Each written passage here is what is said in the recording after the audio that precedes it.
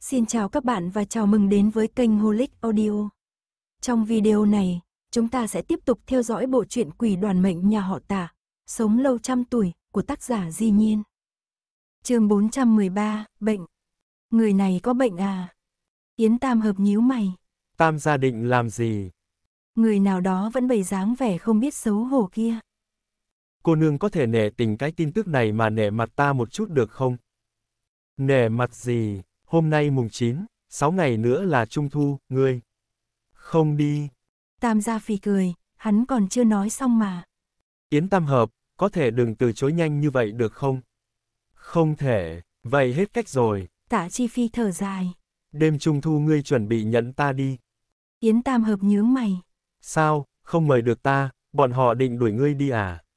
Hết cách rồi, quân lệnh đã ra rồi. Tam gia cười còn đắng hơn cả Hoàng Liên. Con út khó làm mà Yến cô nương. Trong đầu Yến cô nương xuất hiện hai giọng nói. Một giọng nói nói, liên quan quái gì đến ta. Một giọng nói khác nói, hay là nể tình hắn đáng thương đi. Không đúng. Ngồi vào bàn tạ phủ, ta mới đáng thương. Yến Tam hợp nghĩ đến hai lần trước ăn cơm, chẳng còn chút đồng tình nào. Tam gia, con út cũng được cưng. Tạ chi phi. Chiêu bán thảm này chưa gì đã hết tác dụng. Vậy cũng chỉ có thể dùng chiêu trực tiếp thôi. Đại tẩu cũng nhớ ngươi. Phụ thân nàng bệnh nặng, trong phủ lại có một đống chuyện, hai bên đều không thoát thân được. Sáng nay nhìn thấy ta, còn thở dài nói Yến cô nương ở một mình, rất cô đơn. Ừ, Yến Tam hợp chẳng thèm nhấc mắt. ngươi có tin hay không? Tin cái gì? Ta hỏi ngươi có tin hay không? Tam gia muốn ta tin cái gì? Nếu ngày 15 tháng 8 ngươi không đến, lão tổ tông sẽ chẳng nếm một miếng bánh trung thu. Thế sao? Ngươi còn tin hay không? Ngày đó tạ phủ từ trên xuống dưới, đừng mong có ai được thái bình. Vậy thì tốt. Ngươi có tin hay không? Toàn bộ tạ phủ, ta và đại tẩu là khổ nhất. Yến Tam Hợp cảm thấy người này cầm dao nhỏ, đang đâm từng nhát vào ngực mình. Nhưng nàng vẫn bất động như thế, liên quan quái gì đến ta. Tạ Chi Phi thấy nàng không nói tiếp, vô cùng biết điều ngậm miệng lại. Được rồi, tốt quá hóa dở, cứ từ từ nghĩ cách, tam gia không tin không mời được nàng. Đúng lúc này có tiểu ni cô đến mời Tạ Chi Phi đến am đường. Ta đi trước, Hắn đi được vài bước, lại quay lại. ngươi chờ ta một lát, ta làm xong việc thì cùng về, trên đường về ta mời ngươi ăn hạt rẻ giang đường. Đừng hy vọng nữa, ngươi có ta ăn thịt rồng trên trời, ta cũng sẽ không đi. Không đi, cũng muốn mời ngươi ăn hạt rẻ giang đường. Tạ Chi Phi hừ hừ. Yến Tam Hợp, làm phiền ngươi nghĩ ta lương thiện một chút đi. Yến Tam hợp, Đại nhân, mời xem. tuệ như đưa một quyển sổ nhỏ ố vàng qua, Tạ Chi Phi nhận lấy, tùy ý lật xem trước. Danh sách đều ở đây. Bao năm qua đều ở đây sao? Thời gian viết trên đó nghĩ là gì? Chính là ngày tháng năm nhặt được các nàng. Ngươi đi ra ngoài trước một lát, ta muốn xem kỹ. Vâng, Am đường yên tĩnh lại. Đầu tiên Tạ Chi Phi trước tìm năm Vĩnh Hòa thứ 8, lại tìm được tên của Minh Nguyệt, sau đó lại lần theo cái tên nhìn về phía sau. 16 tháng 7. Mặt Tạ Chi Phi vỡ vụn. 16 tháng 7, Am Thùy Nguyệt nhặt được đường Minh Nguyệt, như vậy nói cách khác 14 tháng 7 mới là sinh nhật của nàng. Trịnh Hoài Tả, Trịnh Hoài Hữu đều là sinh vào ngày 14 tháng 7 năm Vĩnh Hòa thứ 8, cho nên ba người bọn họ sinh cùng ngày tháng. Điều này quả thực quá hoang đường. Tạ Chi Phi hít sâu một hơi, đặt mông ngồi xuống băng ghế. Lập tức, trong đầu lại có một nghi vấn hiện ra, đường Minh Nguyệt làm sao biết được ngày sinh của mình. Tuệ như sư thái. Tuệ Như đang chờ ở bên ngoài, nghe Tạ Chi Phi gọi thì vội vàng đi vào. Đại nhân, sinh nhật của các tiểu ni cô, là dựa theo ngày nhặt được các nàng, hay là... Bẩm đại nhân, nếu trong tá lót có ghi ngày tháng năm, thì đi theo ngày tháng năm trên đó. Nếu không, thì đi theo ngày nhặt được các nàng. Sinh nhật bát tự viết trên giấy sao. Có người viết trên giấy, có người dùng máu viết trên khăn, cầu kỳ nhất là thêu trên khăn gấm. Ngoài sinh thần bát tự ra thì trong tá lót bình thường còn có gì nữa. Người khá khẩm thì sẽ có khóa trường mệnh, ngọc bội các loại, người nghèo, có thể là sinh nhật bát tự thôi đã không tồi rồi. Ánh mắt Tuệ Như tối sầm. Như Lan Xuyên thì đến sinh nhật bát tự cũng không có, chỉ có một cái tá lót. Hỏi tới đây, trong lòng Tạ Chi Phi đã có tính toán. Phần danh sách này ta cầm đến nha môn trước, chờ xác minh xong sẽ phái người đưa tới cho ngươi. Trong am chỉ có một phần này, làm phiền đại nhân bảo quản thật tốt. Điều này ngươi yên tâm. Tạ Chi Phi cất danh sách, đi khỏi am đường, có lẽ là đi nhanh qua nên khi ánh mặt trời chói mắt chiếu tới, hắn chỉ cảm thấy trước mắt tối tăm. Hắn đưa tay chống vách tường, ngồi xuống ngưỡng cửa. Đại nhân, không sao, nghỉ một chút là được, ngươi đi làm việc đi. Tạ Chi Phi đưa tay xoa ngực, tim đập vừa nhanh vừa mạnh, còn có cảm giác tê dại. Bệnh tim lại tái phát. Lần trước tái phát là tìm không thấy Yến Tam Hợp, lúc này đây cũng là bởi vì một đường minh nguyệt. Đường minh nguyệt, người rốt cuộc là ai? Tại sao lại giống trịnh hoài tả như vậy? Tại sao ngươi cũng sinh ngày 14 tháng 7? Là ai ném ngươi ở cửa am Thủy Nguyệt? Từ xa, Yến Tam Hợp nhìn thấy thì không khỏi nhíu mày. Đây là lần đầu tiên nàng nhìn thấy dáng vẻ này của tạ Chi Phi. Có chuyện gì vậy? Yến Tam Hợp đi qua. Không khỏe sao? Tạ Chi Phi dần ngẩng đầu, yếu ớt mỉm cười. Không sao, chỉ là sốt ruột thôi. Sốt ruột gì? Không mời được Yến cô nương, trở về chắc chắn phải ăn đòn, có thể không sốt ruột sao? Thấy sắc mặt Yến Tam Hợp thay đổi, hắn lại cười nói. Ngươi ngàn vạn lần đừng mềm lòng, ta chỉ là đang bán thảm với ngươi thôi. Mặt trắng bệnh như vậy, ngươi tưởng ta mù sao? Yến Tam Hợp ngồi xổm xuống. Tự đứng lên được không? Tạ Chi Phi đê tiện hỏi. Yến cô nương định tới đỡ ta sao? Đúng vậy. Yến Tam Hợp khom lưng đỡ lấy cánh tay hắn. Phải chăm sóc người già yếu bệnh tật. Tạ Chi Phi tức đến hít sâu một hơi. Hôm qua đấu võ mồm với nàng, mình còn chiếm thượng phong, sức khỏe yếu đi cái là khí thế cũng yếu theo. Hắn mượn tay nàng, từ từ đứng lên. Được rồi, ngươi buông tay đi, ta có thể tự đi được. Không cần ta tiễn Phật đến Tây Thiên sao. Tạ Chi Phi lại hít sâu. Thầm nghĩ ngươi còn nói như vậy nữa là ta chết thật đó. Yến Tam Hợp quét mắt nhìn bàn tay đặt ở ngực của hắn. Nói với đại tẩu, ngày 15 ta đến nói chuyện với nàng. Tạ Chi Phi quay đầu nhìn Yến Tam Hợp, trợn mắt. Không có ý gì khác, ta muốn Tam gia sống thêm vài năm thôi. Tạ Chi Phi. Hay lắm. Ta sống lại rồi. Trong lúc nói chuyện, Lý Bất Ngôn đi tới. Ơ, Tam gia cũng tới à, chúng ta đây là có duyên gặp nhau ở am ni cô à. Nương nó ai muốn gặp ngươi. Đến làm việc. Tạ Chi Phi chẳng muốn nhiều lời với người này thêm một chữ. Lý Bất Ngôn không thèm để ý sự lãnh đạm của Tam gia, bĩu môi. Đã hỏi Lan Xuyên rồi, nàng nói phải suy nghĩ thêm. Chương 414, đã lót. Mỗi người đều có số mệnh riêng. Yến Tam Hợp chưa bao giờ ép buộc người khác. Vậy về đi, Tam gia còn cần ta đỡ nữa không? Ơ, Tam gia làm sao vậy, làm công việc gì mà khiến mình trở nên yếu đuối thế này? Họ Lý, ngươi đang đánh giấm gì vậy hả? Có muốn ta cõng không? Cong muội muội ngươi. Tạ Chi Phi nghĩ đến một chuyện. Yến Tam Hợp, Đường Minh Nguyệt khăng khăng muốn gặp ngươi, ta ngăn không được. Yến Tam Hợp bất ngờ nhìn hắn. Người này đến hạ ma ma của giáo phường ti cũng dỗ được, sao một đường Minh Nguyệt lại hết cách chứ? Hết cách rồi, nàng ta mang thai. Yên lặng một lát, Yến Tam Hợp bất đắc dĩ nói. Vậy ngươi sắp xếp đi. Tạ Chi Phi cảm thấy lúc này bệnh tim tái phát rất đáng, ít nhất là có tác dụng với Yến Tam Hợp. Còn một chuyện nữa, Tam gia cũng nhiều chuyện thật đấy. Yến Tam Hợp nhịn không được đâm hắn một cái.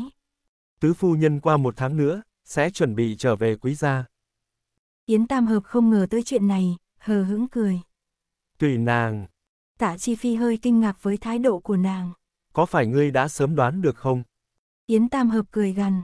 Nàng đâu chỉ sinh một đứa con gái. Vậy tại sao còn giúp nàng? Tiện tay. Yến Tam Hợp kéo Lý bất ngôn đi ra ngoài, bóng lưng nho nhỏ nhìn rất mỏng manh dưới ánh mặt trời mùa thu. Ánh mắt tạ chi phi thoáng hoảng hốt, lại đột nhiên nghĩ đến một chuyện. Trịnh gia vì xuất thân võ tướng, cho nên vóc dáng con cháu phổ biến hơi cao, nhà đầu này hình như thấp hơn đường Minh Nguyệt nửa cái đầu. Trở lại kinh thành, nơi mua hạt rẻ giang đường đã xếp thành hàng dài. Tạ Chi Phi mặc quan phục đi tới, ho hai tiếng với chủ quán. Chủ quán lập tức sai tiểu nhị gói một gói hạt rẻ, vui vẻ đi tới. Quan gia, ngài cứ thoải mái nếm thử. Tạ Chi Phi móc hai văn tiền ra, nhét trong tay chủ quán, xoay người nhét hạt rẻ vào tay Yến Tam Hợp. Ta còn có việc, đi trước một bước. Yến Tam Hợp hé miệng, xem như ngầm thừa nhận. Đám người đi xa, Lý bất ngôn không kịp hỏi. Cái miệng ngọt ngào của tà Tam gia sao lại biến mất rồi? Vừa rồi hắn phát bệnh. Bệnh gì, miệng thối sao? Yến Tam Hợp dùng ngón tay chọc vào ngực Lý Bất Ngôn. Hắn hẳn có bệnh ở đây. Dệt, hèn gì là quỷ đoàn mệnh. Lý Bất Ngôn gãi đầu. Vậy sau này ngoài miệng ta tích chút đức với hắn vậy, nhìn khuôn mặt nhỏ nhắn trắng bệch kia kìa, đều thành công tử bột rồi. Yến Tam Hợp phì cười, nhét hạt rẻ vào tay Lý Bất Ngôn. Ngươi ăn đi, sao ngươi không ăn? Ta không ăn đồ công tử bột mua. Lúc này, đổi lại là Lý Bất Ngôn phì cười. Buổi chiều, Tạ Chi Phi chờ lại Tạ ra, Chu Thanh chờ ở cửa thứ hai, thấy người đi tới, thì ra nghênh đón. Ra, lục ra, để nói sau. Tạ Chi Phi không nghe lọt nổi một chữ, xăm xăm đi thẳng đến khách viện. Trong khách viện im lặng, nha hoàn và bà vú đường Minh Nguyệt mang đến đều ở trong đình viện nhàm chán phơi nắng. Thấy tam gia tạ phủ đến, nha hoàn áo đỏ vội vàng nghênh đón. Tiểu thư nhà ta còn đang ngủ chưa? Đi đánh thức nàng, có chuyện quan trọng. Nha hoàn nhìn khuôn mặt căng thẳng của tam gia, quay đầu chạy vào xương phòng. Rất nhanh, trong xương phòng đã có động tĩnh. Đan nhị nhất đi ra trước, hành lễ với tạ chi phi. Tạ huynh. Tạ chi phi gật đầu, ánh mắt nhìn về phía sau hắn. Đan nhị nhất thấy dáng vẻ này của hắn, trong lòng lại bắt đầu không vui. Một lát sau, đường Minh Nguyệt được nha hoàn đỡ đi ra. Tam gia tới, là Yến cô nương chịu gặp ta sao? Đường tiểu thư đợi đã. Tạ Chi Phi liếc mắt nhìn Chu Thanh phía sau. Bảo tất cả mọi người rời khỏi viện này. Chu Thanh còn chưa kịp nói chuyện, thì đã có giọng nói gào lên. Sao ta cũng phải rời đi? Tạ Chi Phi sớm đã đoán trước thằng nhãi này sẽ kêu, liếc mắt. Còn muốn cho nương tử ngươi gặp Yến cô nương hay không? Đan nhị nhất. Hả? Tạ Chi Phi. Muốn gặp thì ngoan ngoãn làm theo lời ta. Đan nhị nhất nghĩ rất nhanh. Đuổi chúng ta đi, có liên quan gì với việc gặp Yến cô nương sao? Chỉ có đầu óc ngươi tốt sao? Mặt tạ chi phi trầm xuống. Yến cô nương có mấy vấn đề, muốn ta hỏi nương tử nhà ngươi một chút, chuyện này cần phải giữ bí mật, đàn huynh còn có ý kiến gì không? Ta, không có ý kiến thì đi ra ngoài. Tạ chi phi ra dấu mời. Yên tâm, nương tử nhà ngươi sẽ không thiếu một sợi tóc gáy nào đâu. Ra tin ngươi mới lạ á. Đan nhị nhất cắn răng, tên công tử bột nhà ngươi vừa nhìn đã biết là có lòng bất chính với nương tử nhà ta. Nương tử, ta ở ngoài viện chờ nàng, nàng có chuyện gì cứ gọi một tiếng, không cần sợ, có bệ thúc ở đây. Chàng yên tâm đi, tam gia là người tốt. Đường Minh Nguyệt cười cười, nhìn bệ chiêu. Bệ thúc, đi dạo với nhị nhất đi. Cô ra, đi thôi. Đàn cô ra cứ đi ba bước lại quay đầu, dáng vẻ như chỉ cần rời khỏi nương tử thì sẽ sống không nổi vậy, còn thường xuyên liếc tạ chi phi một cái. Người tốt ư, người tốt mà nhìn chằm chằm nương tử nhà người khác như vậy ư. Ta nhổ vào. Tạ chi phi thầm nghĩ, đường kiến khê mắt già bị mờ rồi sao, sao lại tìm cho con gái mình một kẻ bất lực như vậy. Cửa viện khép lại. Tạ chi phi đi tới bên cạnh đường Minh Nguyệt. Đường tiểu thư, chúng ta vào nhà chính nói chuyện. Được. Hai người đi vào nhà chính, tạ chi phi cũng đóng cửa lại. Đường Minh Nguyệt thấy hắn thận trọng cẩn thận như vậy, trái tim không khỏi thắt lại, chờ không kịp mà mở miệng. Tam gia nói mau đi, Yến cô nương muốn hỏi cái gì thế? Sinh nhật 14 tháng 7, là ai nói cho ngươi biết? Sư phụ ta, sư phụ ngươi làm sao biết được? Đường Minh Nguyệt sừng sốt. Ta không biết, dù sao sư phụ cũng nói với ta như vậy. Ngày sư phụ ngươi nhặt được ngươi ở cửa am Thủy Nguyệt là ngày 16 tháng 7. Đường Minh Nguyệt lại sừng sốt. Hả? Tạ Chi Phi lấy danh sách, mở ra một trang, chỉ vào đó. Ta xem ở đây. Đường Minh Nguyệt cúi đầu nhìn. À, thật đúng là, 16 tháng 7. Vậy sư phụ ngươi vì sao lại nói với ngươi là 14 tháng 7? Ta không biết, hay là trong tá lót có một tờ giấy viết ngày sinh tháng đẻ của ngươi? Đường Minh Nguyệt càng hồ đồ. Còn có giấy sao? Tạ Chi Phi vừa nhìn dáng vẻ chẳng biết gì của nàng, sốt ruột muốn cào tim cào gan. Sao lại vô tư như thế, bà cô đây sao có thể sống đến bây giờ vậy? Tá lót năm đó đâu, sư phụ ngươi cho ngươi có giữ lại không? Mang đi rồi. Câu này đường Minh Nguyệt có thể trả lời. Năm đó cha nhận nuôi ta, sư phụ bèn mang hết tất cả đồ đặc khi còn bé của ta địa. Bây giờ thì sao, nó đang ở đâu? Trên núi Mộc Lê, nương ta giúp ta cất, ngươi có mở ra xem không? Ta xem nó làm gì? Đường Minh Nguyệt cười nói. Ta đâu có muốn tìm lại cha nương ruột, bọn họ không cần ta, ta cũng không cần bọn họ. Bà cô này không những vô tư, tính cách còn dứt khoát nữa. Tạ Chi Phi im lặng hồi lâu. Ta đi núi Mộc Lê một chuyến, đường cô nương có tiện cho ta xem thử tá lót của ngươi không? chương 415, mất tích. Nghe xong lời này, đường Minh Nguyệt cuối cùng cũng nhận ra có điều gì đó không ổn. Tam gia, tâm ma của sư phụ ta vẫn chưa được giải quyết sao? Vì sao ngươi còn muốn tìm hiểu chuyện hồi nhỏ của ta? Yến Tam Hợp bảo ta làm việc này, sau này khi từ núi Mộc Lý trở về ta sẽ giải thích mọi chuyện với đường tiểu thư. Tạ Chi Phi nhìn sắc mặt của nàng, bổ sung thêm một câu.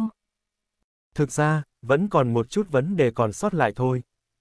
Nghe đến Yến Tam Hợp, đường Minh Nguyệt cũng không hỏi thêm gì nữa. Vậy, ta phải viết một bức thư cho nương ta để báo trước với bà. Không cần thư đâu, ngươi chỉ đưa một tấm thẻ bài để ta gặp đường phu nhân là được rồi. Không sao, ta chỉ viết ngắn gọn thôi.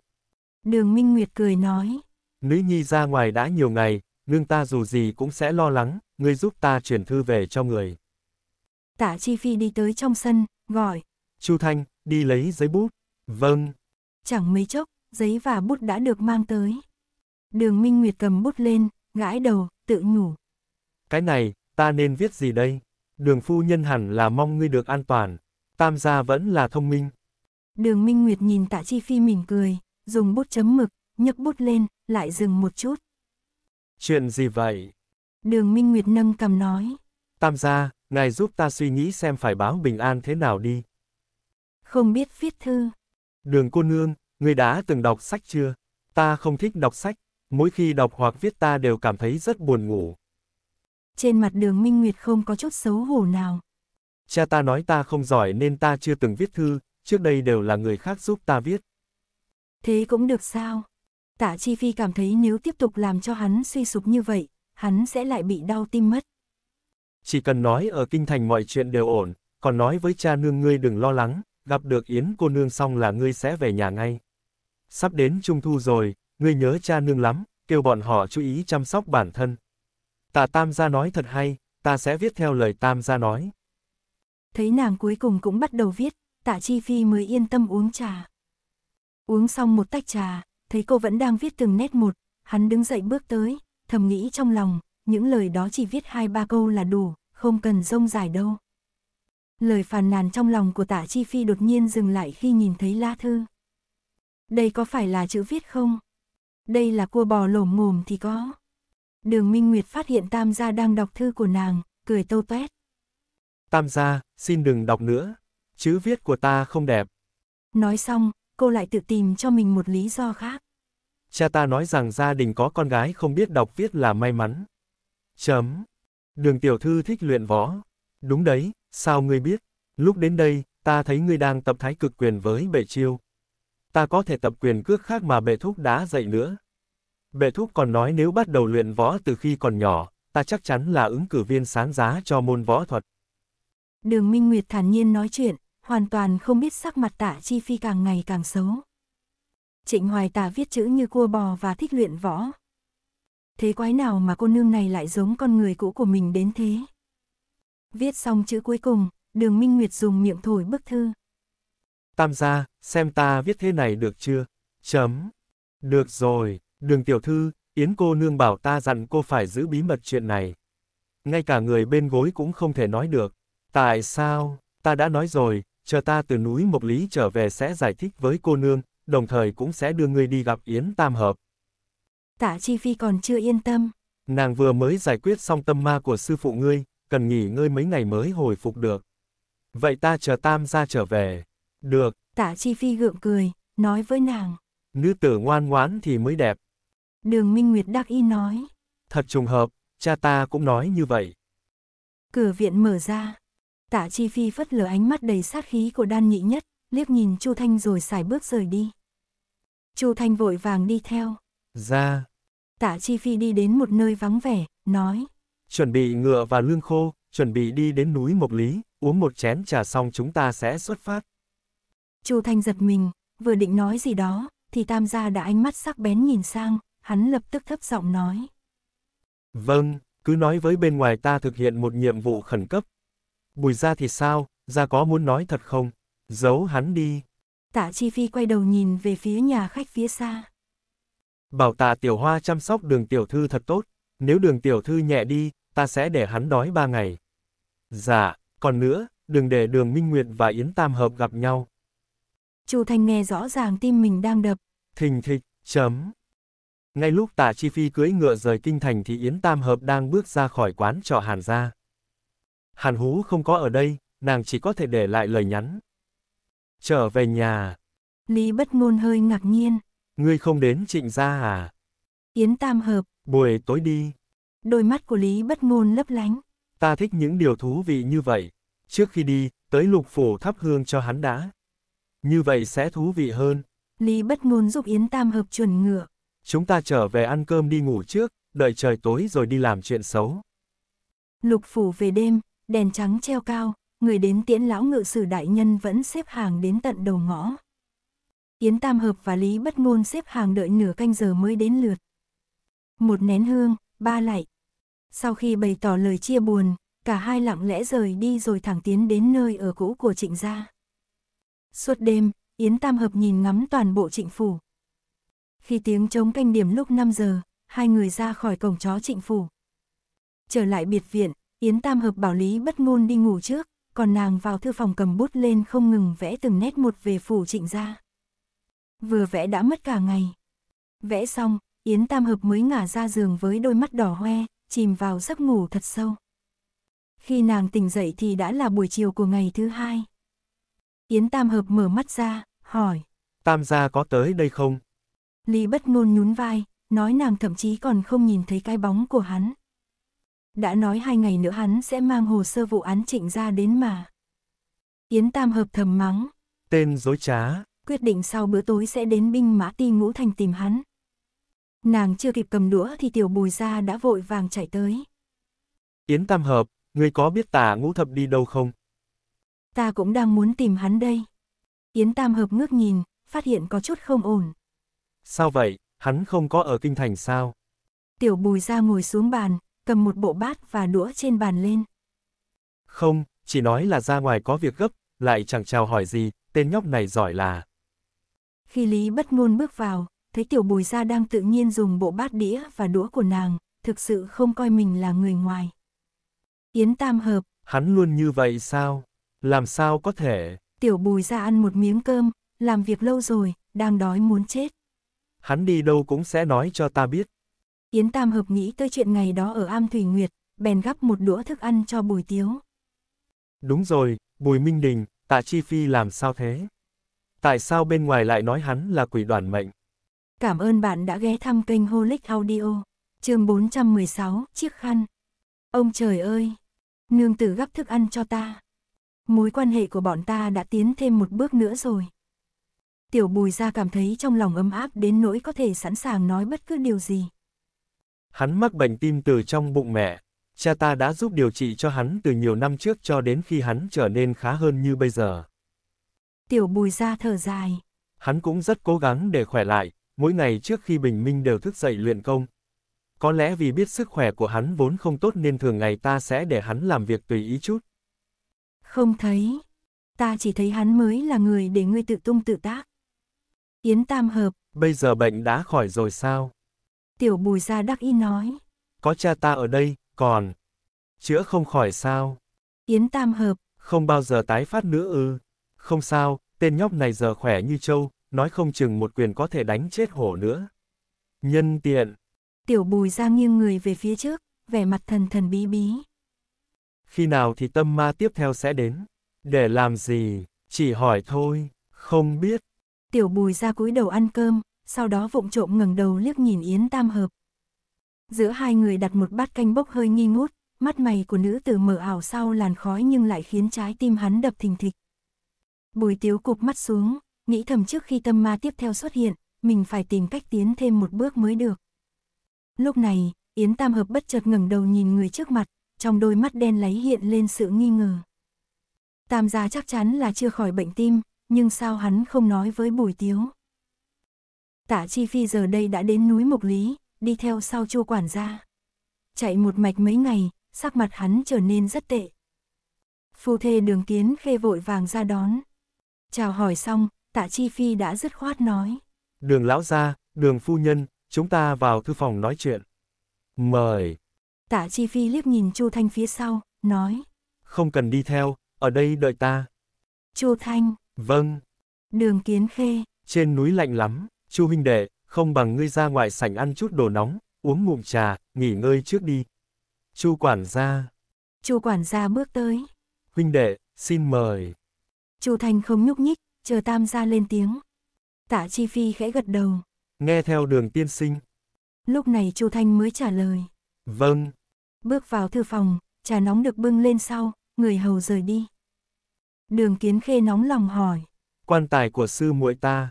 Đường lão gia, chúng ta nói chuyện này sau. Tạ Chi Phi đưa mắt nhìn đường phu nhân. Phu nhân, khi ngài nhận nuôi đường Minh Nguyệt, Tĩnh Trần đã đưa cho ngài một bộ tá lót mà đường Minh Nguyệt đã mặc khi nàng ấy còn nhỏ. Đào xảo nhi giật mình, sau đó gật đầu. Vật ấy đâu rồi, ta đang giữ nó, đưa nó cho ta xem đi. Đường Kiến Khê chỉ cho rằng chuyện này có liên quan đến tâm ma của đường chi vị, vội vàng nói. Mau đi lấy. Tạ Chi Phi đứng lên nói. Ta đi với phu nhân. Phu thê đường Kiến Khê nhìn nhau, cảm thấy vô cùng hoảng sợ. Tại sao hắn không thể đợi dù chỉ nửa tách trà? Đường Kiến Khê vội nói. Chúng ta cùng nhau đi. Tạ Chi Phi lại giải thích. Thứ lát nữa chúng ta và phu nhân đi lấy. Đường tiên sinh, ai không có phận sự thì xin ngài hãy cho lui ra ngoài viện. Đường Kiến Khê gật đầu, đi ra khỏi thư phòng trước, nói nhỏ vào tai quản gia trước khi chu quản gia chạy vào màn đêm. Ba người đi tới chính viện, trong sân không thấy một bóng người. Đào xảo nhi đi vào phòng bên, lục lọi hộp tủ, sau đó xách hành lý ra ngoài. Tà công tử, ở đây. Nhịp tim của tạ chi phi lại bất giác đập rất nhanh, hắn đứng dậy, đóng sầm cánh cửa màu đỏ lại một tiếng. Căn phòng đột nhiên trở nên yên tĩnh. Cổ họng đường kiến khê có hơi nghẹn ngào. Tạ, xin chờ một lát. Tạ chi phi hít sâu một hơi, mở túi ra, để lốc ra chiếc chăn bông nhỏ màu xanh lam. Chăn được gấp thành hình vuông, khi mở ra, mép chăn thêu một hình tròn bằng tre, ở giữa thêu một chữ lớn. Phúc, bằng chỉ đỏ. Tạ Chi Phi lật lại xem mấy lần, nhưng không phát hiện được gì khác nữa. Mảnh giấy ghi ngày sinh trong tả ở đâu? Không có giấy, khăn tay thì sao? Cũng không có khăn tay. Đào xảo nhi có hơi căng thẳng nói. Lúc ta tới nhận nữ nhi thì chỉ có cái chăn bông nhỏ này. Không thể nào. Nếu không có giấy và không có khăn tay thì làm sao tĩnh Trần biết bé gái này có sinh nhật vào ngày 14 tháng 7. Tạ Chi Phi nheo mắt lại. Mang kéo tới, tà công tử. Đường kiến khê liếc nhìn nữ nhân. Xảo nhi, cứ làm như tạ tiên sinh nói đi. Đào xảo nhi vội vàng đem kéo tới. Tạ Chi Phi chỉ. Xin hãy cắt chỉ và tháo cẩn thận, để không chạm vào đồ bên trong. Cái này, cắt đi. Nhìn thấy vẻ mặt nghiêm túc của tạ Chi Phi, đường phu nhân không dám do dự nữa, vội cúi đầu tháo chỉ. Đôi bàn tay nữ nhân rất khéo léo, chỉ vài động tác đã cởi tấm gấm bên ngoài ra. Bên trong vải gấm có một lớp bông mỏng được ép rất chặt theo thời gian. Tạ Chi Phi thăm dò từng tấc của lớp bông bằng đôi bàn tay to lớn của mình. Đột nhiên, tay hắn dừng lại, đầu ngón tay thọc vào trong lớp vải bông, chậm rãi rút ra một chiếc khăn tay mỏng bằng gấm. Phù thê họ đường mở to mắt, sự ớn lạnh chạy dọc sống lưng. Trong tà lót của Minh Nguyệt, sao lại có chiếc khăn này được? Tạ Chi Phi không có lập tức mở chiếc khăn tay hình vuông ra, mà xoay tay, ấn thật chặt vào lòng bàn tay mình. Động tác này khiến trái tim đường phu nhân run lên vì sợ hãi. Tà công tử, xin phu nhân đừng nói. Tạ Chi Phi gầm lên, môi khẽ run. Hắn đang sợ. Không, đó không chỉ là sợ, mà là sự sợ hãi sâu sắc dâng lên từ tận xương tủy, đến nỗi mọi cơ bắp trên cơ thể hắn đều căng cứng. Giống như đang đối mặt với một kẻ thù ghê gớm lắm. Một chiếc khăn gấm, nếu không chứa đựng bí mật chấn động thì đã không cần phải chôn sâu đến thế. Là bí mật gì? Hô hấp tạ chi phi dồn dập, hắn cảm thấy nhịp tim của mình không chỉ đập nhanh mà còn rất hỗn loạn. Thịch, thịch, thịch, tim hắn đang đập loạn nhịp. Người có xem nó không? Hắn tự hỏi. Không biết. Hắn cũng đã tự trả lời. Mọi chuyện đều bắt nguồn từ trực giác. Lần đầu tiên nhìn thấy Yến Tam Hợp, hắn có một cảm giác rất kỳ lạ, không khỏi muốn tìm hiểu nàng. Trực giác này đồng hành cùng hắn suốt chặng đường cho đến thời điểm chân tướng lộ ra. Mà trực giác của hắn đối với đường Minh Nguyệt càng mạnh hơn, mạnh đến mức thậm chí còn tìm cách lừa dối nàng, mạnh đến mức không thể chờ đợi được một giây phút nào, liền điên cuồng lao tới núi Mộc Lý. Đúng là kỳ diệu như thế đấy. Còn bây giờ, hắn cũng có dự cảm chắc chắn rằng câu trả lời nằm ở chiếc khăn này. Lúc này, trong lòng hắn vang lên một giọng nói.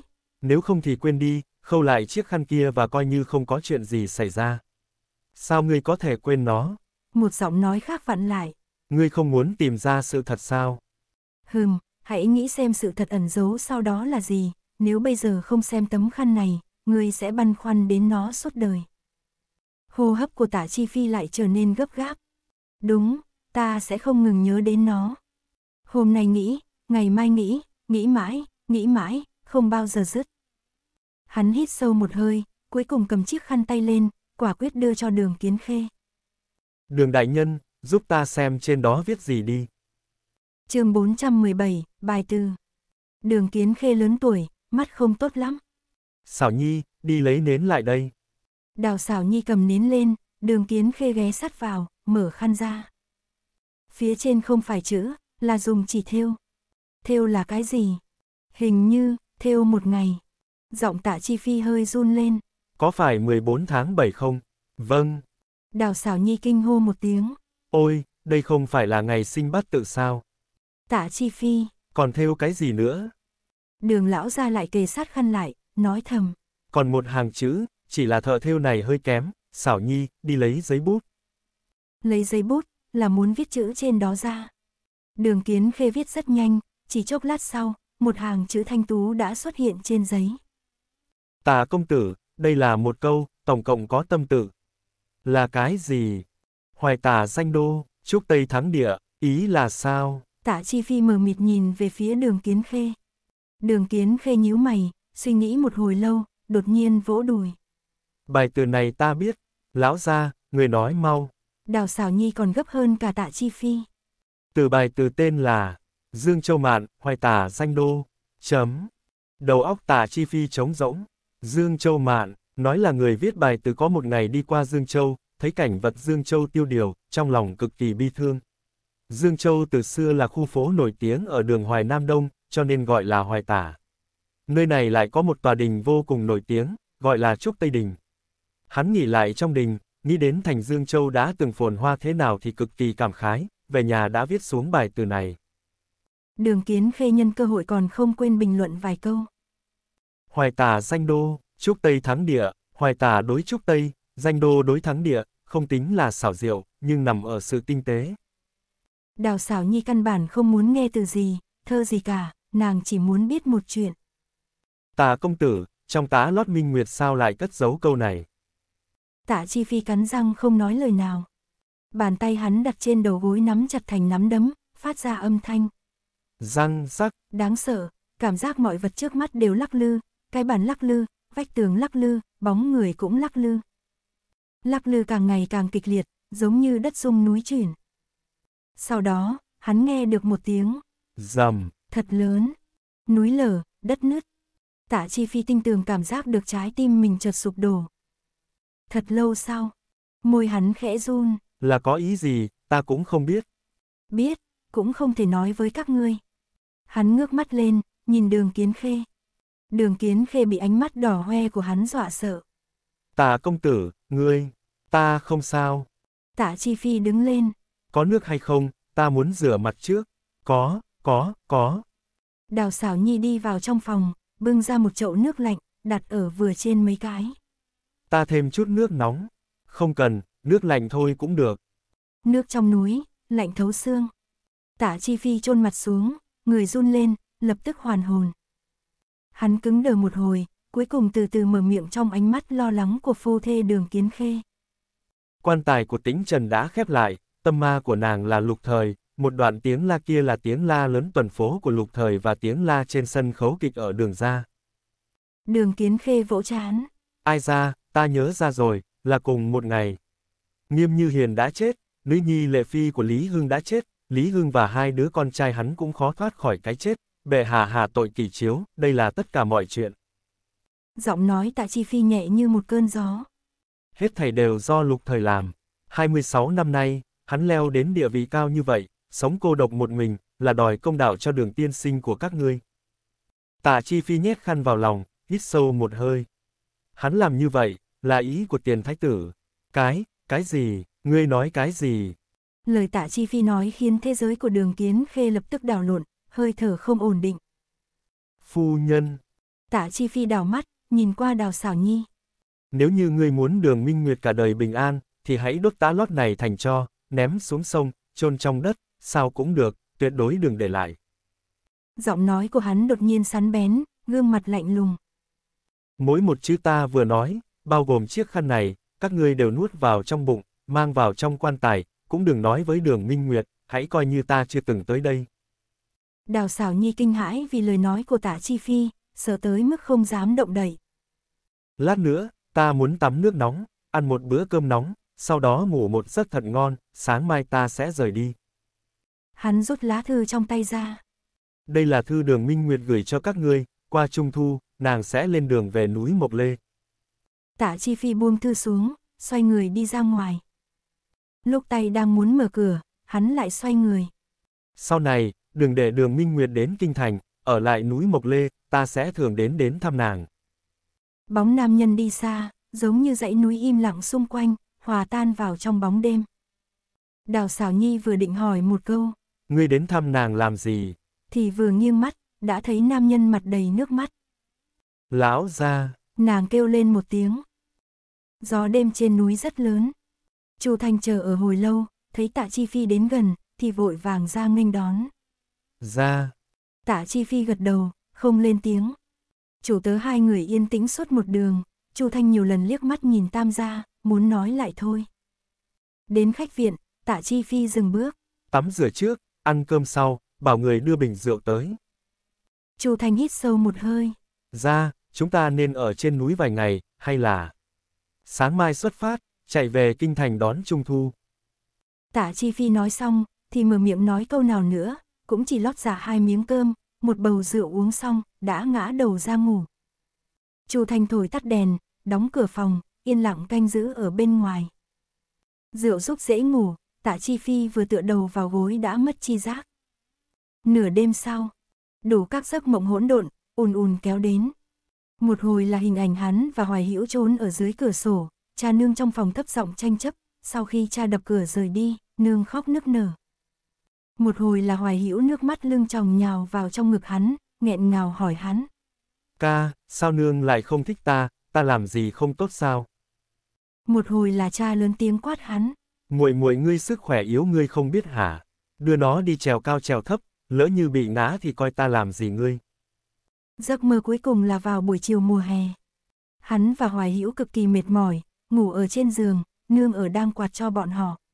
Chẳng biết tại sao, quạt ngừng, hắn cảm thấy nóng, mơ mơ màng màng mở mắt, đập vào mắt là ánh mắt lạnh như băng của nương, đang nhìn chằm chằm.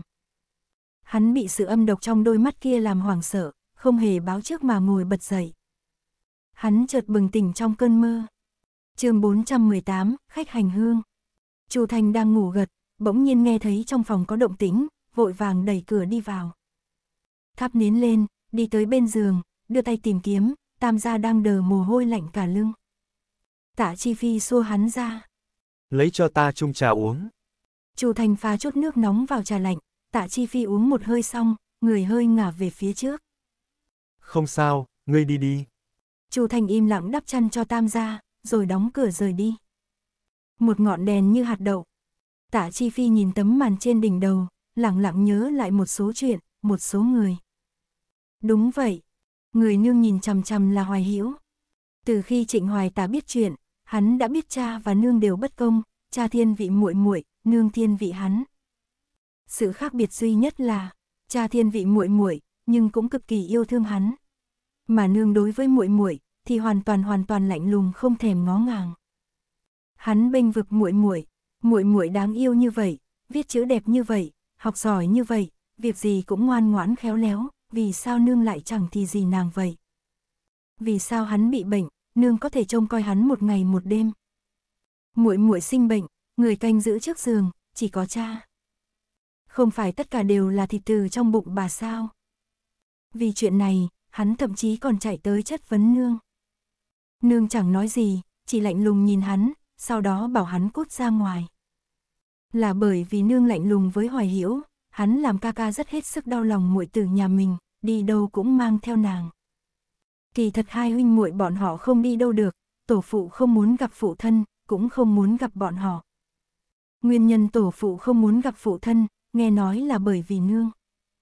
Trịnh ra theo võ, bởi vậy nữ nhân cưới về, ai nấy là phải mạnh mẽ, tính tình ngay thẳng. Nương là con gái nhà đọc sách, là cha hắn thích sau đó đòi cưới về nhà cho bằng được.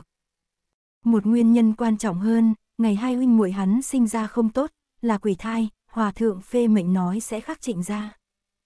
Phạm vi hoạt động của hai huynh muội bọn họ, chỉ giới hạn trong viện hải đường, cho dù ngày lễ ngày Tết, bọn họ cũng không thể đi ra cửa lớn viện hải đường được.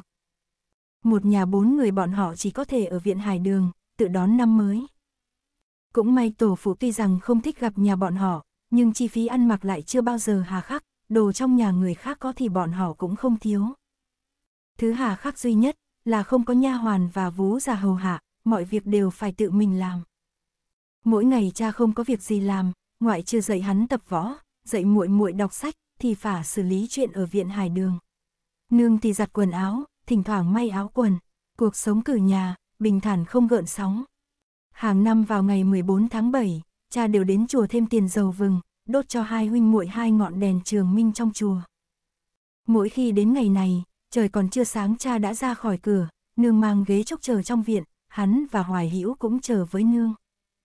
Cha chưa bao giờ tay không trở về, sẽ mang cho hắn và Hoài Hữu vài đồ chơi mới lạ. Nương cũng có, nhưng đồ của nương, cha chưa bao giờ lấy ra cho bọn họ xem, đều là đóng cửa lén đưa cho nương. Nương nhận đồ, hơn nửa tháng đều vui tươi hớn hở, đây là nửa tháng bình yên nhất trong viện hải đường vi, bình thản được nửa tháng, nghĩa là hắn và Hoài Hữu có gây họa, nương cũng chỉ biết cười với họ. Viện hải đường có hai cửa ra vào, phía sau có một vườn hoa nhỏ. Cái nơi chỉ to bằng bàn tay này, hắn và Hoài Hữu đã chơi chán từ lâu, có đôi khi buồn chán quá, bèn quấn lấy cha đòi nghe kể chuyện. Cha sẽ và kể về từng trận chiến thắng của tổ phụ. Nói về binh lính xa trường, nói về mạc Bắc Minh Mông, cả có tề quốc có thể nóng chết người. Hắn và Hoài Hữu mỗi lần đều nghe đến say xưa. Cha còn nói về trịnh gia. Nói về nguyên quán trịnh gia Dương Châu. Nói về trúc Tây Đình bên cạnh nhà cũ. Nói về xấu Tây Hồ nổi tiếng nhất Dương Châu. Nói về thảm trạng của quân Kim khi vào Dương Châu. Nói người Dương Châu buổi sáng ra bọc nước, buổi tối nước bọc ra. Tả Chi Phi nghĩ đi nghĩ lại, chờ mình, vùi mặt vào trong chăn, sau gáy khẽ run rẩy. Hắn giữ tư thế đó rất lâu, mãi cho đến tiếng gà gáy đầu tiên vang lên, thì mới sốc chăn lên xuống giường, đẩy cửa sổ ra, mở hai tay rít lên với chân trời một tiếng. Gian ngoài, Chu Thanh đang trong giấc mộng sợ muốn bay hồn, vội vàng vọt vào trong xương phòng. Tả Chi Phi quay đầu, bình tĩnh nói. Hồi kinh. Đường về Bắc Kinh, mưa gió không ngừng. Lúc chạy tới Kinh Thành, đã là sáng sớm 15 tháng 8. Vừa vào cửa thành, tạ Chi Phi đã siết chặt dây cương. Chu Thanh, ngươi đi báo bình an cho gia đình trước. Chu Thanh nghe xong lời này, chỉ cảm thấy da đầu tê dại. Từ sau khi ra nhìn thấy đường minh nguyệt kia, thì không có một việc nào là bình thường, càng khiến cho hắn lo lắng hơn là, ra chẳng nói gì với hắn, chỉ giấu trong bụng. Ra đi đâu thế, đi làm một việc, hôm nay là 15 rồi, yên tâm, chắc chắn sẽ về ăn cơm đoàn viên. Chu Thanh há miệng, cuối cùng hít sâu một hơi, nuốt xuống một bụng, chỉ dặn dò. Ra phải về sớm một chút, được. Tạ Chi Phi quay đầu ngựa đi về phía tây, thẳng đến am Thủy Nguyệt. Thân thế của đường Minh Nguyệt, hắn đã hiểu được 89 phần 10, còn có một chuyện cuối cùng, hắn phải xác nhận. Hơn một canh giờ sau, lão ni tuệ như nhìn nam nhân tiểu tụy trước mặt, cả kinh nửa ngày cũng nói không ra lời. Tạ đại nhân, ngươi đây là từ, đi một chuyến xa nhà. Tạ chi phi sờ sờ dâu ria trên cằm. Tên của mấy vị khách hành hương quyên tiền dầu đèn, am các ngươi có ghi chép trong sách không? Tuệ như sợ hãi. Tạ đại nhân, đây, đây là, không điều tra các ngươi, ta là muốn xem chút thời. Tạ chi phi ôn hòa nói thêm một câu. Đương nhiên, nếu tăng lục ti muốn điều tra, ta cũng sẽ để bùi đại nhân mở một mắt, nhắm một mắt. Bùi đại nhân làm gì, trong lòng tuệ như hiểu rất rõ. Nàng gật đầu với tạ chi phi. Đại nhân, xin đi theo ta. Hai người đi tới một trai phòng, tuệ như lấy chìa khóa từ trong ngực ra, mở khóa treo trên cửa. Tạ Chi Phi đẩy cửa đi vào, mới phát hiện nơi này là một nhà kho. Tuệ như lại móc ra một cái chìa khóa khác, mở một cái dương trong ra. Tạ đại nhân, đều ở đây. Từng dương sách, nhét đầy. Giúp ta tìm danh sách từ năm Vĩnh Hòa thứ nhất đến năm Vĩnh Hòa thứ 8. Vâng. Tuệ như ngồi xổm xuống, rất nhanh đã tìm được 8 quyển sách. Tạ Chi Phi bất chấp một lớp bụi dày trên mặt đất, ngồi xếp bằng, cầm lấy quyển thứ nhất, lật từng trang từng trang. Lật đến trang cuối cùng, không có gì. Hắn lại cầm lấy danh sách Vĩnh Hòa năm thứ hai, lật vài trang, ánh mắt chợt dừng lại, rơi vào một hàng chữ nhỏ trên, 14 tháng 7, khách hành hương trịnh hoán đường, quyên 200 lượng bạc. Hắn nhìn lướt qua sau, vội mở ra quyển thứ ba, 14 tháng 7, khách hành hương trịnh hoán đường, quyên 200 lượng bạc. Quyển thứ ba, quyển thứ tư, quyển thứ năm, một quyển cuối cùng xem xong, ngón tay hắn dừng ở hàng phía dưới. Sư Thái, người này ngươi có ấn tượng không? Trịnh hoán đường, ta nhớ rõ người này, 14 tháng 7 hàng năm đều đến am thắp đèn trường minh cho hai đứa con, rồi lại quyên thêm 200 lượng bạc. Chuyện đã lâu như vậy, vì sao ngươi nhớ rõ ràng như vậy? Chuyện này... Sắc mặt tạ chi phi trầm xuống. Nói đi. chương 419, Trúc Tây. Tại sao lại nhớ rõ như vậy? Bởi vì người này sau khi quyên góp tiền hương đèn, đều sẽ nghe tĩnh trần giảng kinh Phật. Mà cứ rằm tháng 7 hàng năm, là thời gian bận rộn nhất của am Thủy Nguyệt, tĩnh trần nào có thời gian rảnh, nhưng người này mặc định, thà rằng ngồi đợi cũng không chịu đổi người khác. Người này cao lớn, khí chất vô cùng xuất chúng, vừa nhìn đã biết là đệ tử thế gia, nàng quét mắt từ xa, nổi lên ý nghĩ hết sức tạp niệm. Người này không phải đến vì khuôn mặt của tĩnh trần đó chứ. Tạ Chi Phi nghe xong, sừng sốt hồi lâu. Khi tĩnh trần đang giảng Phật Pháp thì Minh Nguyệt làm gì? Đứa bé Minh Nguyệt này quấn quýt tĩnh trần, tĩnh trần đi đâu, nàng sẽ theo đó, như hình với bóng. Thì ra là vậy. Sắc mặt tạ chi phi bình tĩnh không hề dao động, những bí ẩn dần dần sáng tỏ khiến trái tim hắn đông cứng lại. Danh sách ta đã xem rồi, không có vấn đề gì cả. Hắn đứng dậy khỏi mặt đất, trịnh trọng nói. Ngươi cất hết tất cả danh sách đi. Tuệ như vẫn còn lo lắng. Tạ đại nhân, thật sự đều, đều kết thúc rồi. Tạ chi phi rút quyền tập ra khỏi ngực. Cái này ta trả lại cho ngươi, cất đi. Tuệ như nhìn thấy danh sách được trả lại, mới thở phào nhẹ nhõm. Ngươi có thể làm đến vị trí am chủ, chứng tỏ ngươi là người thông minh, cái gì nên nói cái gì không nên, trong lòng ngươi tự có cân nhắc. Bàn tay đang cầm chuỗi tràng hạt của tuệ như chợt cứng đờ. Tạ Chi Phi đột nhiên đổi chủ đề. Nửa canh giờ sau, ta mang Lan Xuyên đi, nàng sẽ đi theo Yến Tam Hợp, không sao đâu. Trong phòng im lặng một lát, lão ni cô tuệ như gian nan ép ra một từ trong cổ họng. Được. Tạ Chi Phi lạnh lùng nhìn bà ta. Ta đi thăm mộ tĩnh trần, nửa canh giờ sau, ta đợi nàng ở cổng am. Cánh cửa mở ra rồi đóng lại. Lão ni tuệ như đứng tần ngần một mình hồi lâu, đột nhiên cúi xuống nhặt mấy quyển đanh sách lên, ném hết vào trong dương cùng danh sách kia. Bà vội vàng khoa cửa, vội vàng rời phòng. Đi được hơn chục trượng, bà đột một quay đầu, ánh mắt tràn đầy sợ hãi. Trong lòng bà dâng lên một dự cảm, chiếc dương và danh sách kia, kể cả tĩnh trần, minh nguyệt đều là những bí mật từ nay về sau bà không thể chạm vào. Mang theo tất cả xuống nấm mồ. Coi như là vì đứa trẻ lan xuyên kia. Phần mộ của đường chi vị đã hoàn toàn lấp lại, không có bia mộ, chỉ là một nấm đất nhỏ. Tâm trạng khi đến mộ nàng lần này khác hoàn toàn so với lần đầu tiên. Lần đầu tiên đối với tạ chi phi, thì không hề có chút tình cảm nào với nắp quan tài không thể khép lại của tĩnh trần, một người hoàn toàn xa lạ. Nhưng lần này, tạ chi phi nhấc vạt áo lên, quỳ trên đất, nghiêm túc lại ba lại. Đa tạ. Hắn nói khẽ. Bà có phải cũng đã khám phá ra được bí mật của Minh Nguyệt, nên mới khâu chiếc khăn tay đó vào không, và dặn nàng không được tùy tiện nói ngày sinh cho người khác biết. Đêm ngày 14 tháng 7 Vĩnh Hòa năm thứ nhất, cặp song sinh Long Phượng Trịnh ra chào đời, ca ca ra trước đặt tên Trịnh Hoài Tả, muội muội ra sau, tên của nàng theo lý mà nói nên đặt là Trịnh Trúc Tây.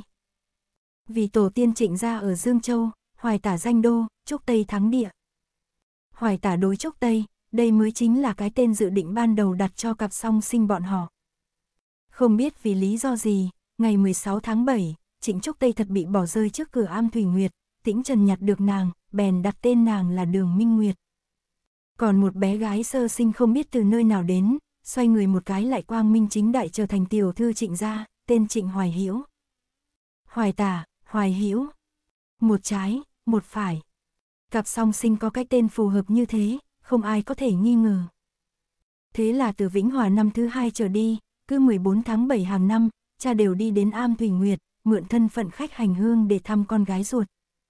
Cho đến Vĩnh Hòa năm thứ 8, Trịnh gia bị thảm sát, tròn trịa 7 năm. Vì nguyên nhân này, Trịnh Hoài Tả, Trịnh Hoài Hữu có ngoại hình và tính cách khác nhau, không giống các cặp song sinh bình thường khác. Bởi vì che giấu sự thật này, tuổi thơ của huynh muội bọn họ chỉ có thể bị giam cầm trong viện hải đường. Nương không thân thiết nào với Hoài Hữu, chỉ lạnh lùng, thậm chí oán hận, vì con gái thật sự của bà đang phải làm tiểu ni cô trong am thủy nguyệt, phải thanh đăng cổ Phật cả đời.